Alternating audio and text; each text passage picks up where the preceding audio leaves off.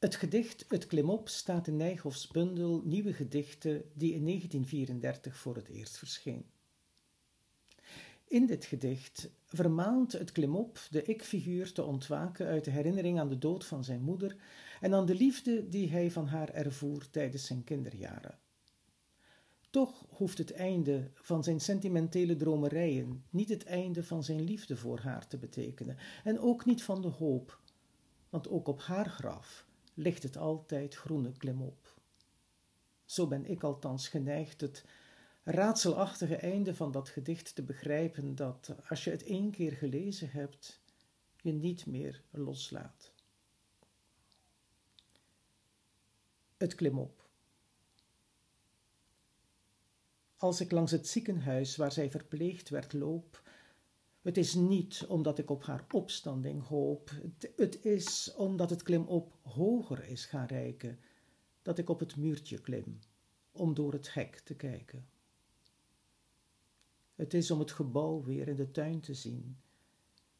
Ik ruik de rozen weer. Ik ruik de criolien. Ik ga de trap weer op. Ik loop door lege gangen. Ik kom weer voor de deur waar het bordje is omgehangen. Maar tegelijk, o klim op, die mijn slaap beroert, hebt gij mij naar een verre dag teruggevoerd. Ik lig in een prieel, ik ben een zieke jongen en zij zit bij me en heeft ons lievelingslied gezongen.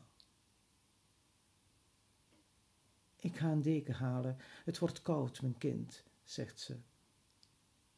Haar lichte stap verdwijnt over het grind en ik tel wachtende tussen de klimopblaren de sterren die reeds aan de hemel flonkerend waren.